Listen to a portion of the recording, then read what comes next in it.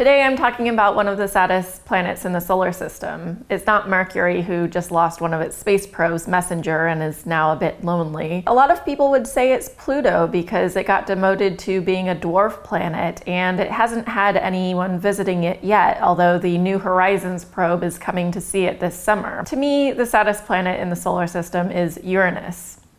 And it's probably exactly for that reason. You're probably laughing at it right now. You're probably giggling at it and making up silly jokes about it. Uranus is actually a really cool planet and it's completely the underdog of our solar system. Because people always make jokes around it constantly, it actually could be keeping kids from asking questions about the planet. It could keep people from studying the planet. It might mean people avoid learning anything about the planet at all because they can't get around the giggle factor. A lot of people think that since it doesn't have anything like craters to look at or amazing clouds like on Jupiter, that it's a fairly boring planet. And this is just so heartbreaking. While people are busy giggling about it, laughing at it, and making fun of this poor little planet, or I guess in this case, a large planet, it's really freaking cool. It actually is a sideways planet, meaning that its actual equator is perpendicular to its orbit. So it actually rotates on its side in a sense.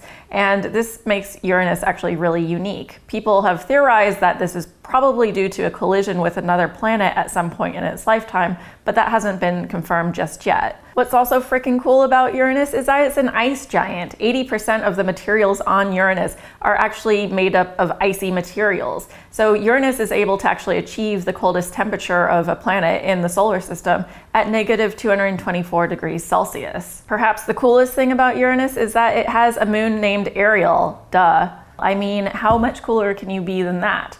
Well, I guess you could also have 27 moons total, and some of those moons have ice canyons, and that's pretty freaking cool as well. The thing that breaks my heart about people laughing at Uranus or calling it boring is that we're actually still discovering amazing things about it. In 1977, we discovered that Uranus actually has a ring structure around it. Perhaps even more exciting, in 2012, the Keck telescope actually was able to discover that Uranus, while it looks like a featureless planet, is anything but when we actually look at the planet in near infrared, we can actually see clouds and storms and all this exciting activity. In fact, in 2014, we were able to discover that Uranus was having a massive storm on the surface, and we don't know exactly what's causing it. So hopefully some of you are space geeks like me and your hearts go out to Uranus because it's actually a really cool planet that people avoid learning about just because they want to giggle about it instead.